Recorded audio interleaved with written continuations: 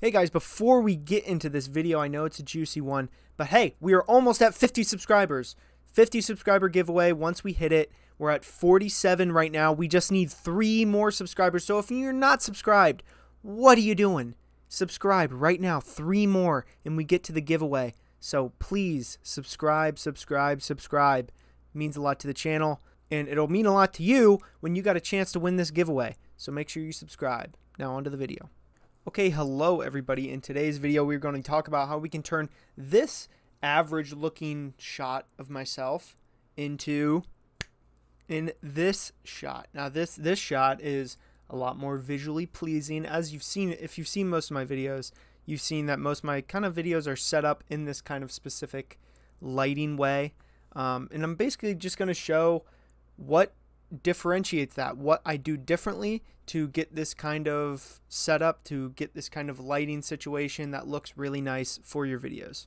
First off, for starters, it's best if you're recording a video if you take out any natural light. Now, usually you've probably heard people, you know, open a window, do that kind of stuff. If you don't have any other lighting source, then a window will be just fine, but it kind of gets tricky because the sun is always kind of changing its brightness on you. So you can start at one point of the day and at another point of the day, your shot will look completely different lighting wise. So for me personally, I like to, you know, close all the windows, close the blinds so it's completely dark. And then from there, I turn on my external lighting sources. Now for me at my desk, I have a uh, LED strip light that goes on right here and that's what's lighting this side of my face. It's um, lit up kind of like a yellowish white. So it creates a nice kind of like orangey yellow uh, shade on the left side of my face here. And then I have this light back here who's that's kind of producing the same kind of light but more softer on this side but it still has a nice contrast from each side of my face. Now the next thing is what i really think differentiates you know the difference in the thing is the color in the background behind me. Um, i currently have a light going on. It's a color changing light. Um, see if i can bring it into frame here.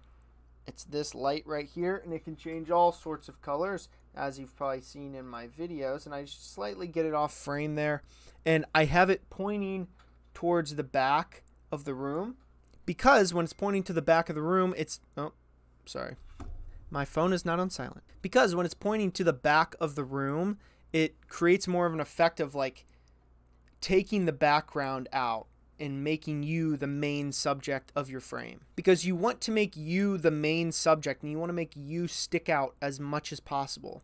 So, if you have some color in the background that's not on your foreground, so like as you can see, there's no blue shades really anywhere on my body because all that light is behind me. So when all the color is behind me and then I have a normal color here on me on the foreground, it creates that effect of you know, me really sticking out and just makes a better quality video overall. So guys, that's going to be the video for today. I hope you learned a thing or two on how I set up my videos lighting wise and how you can set up your videos, you know, in the future.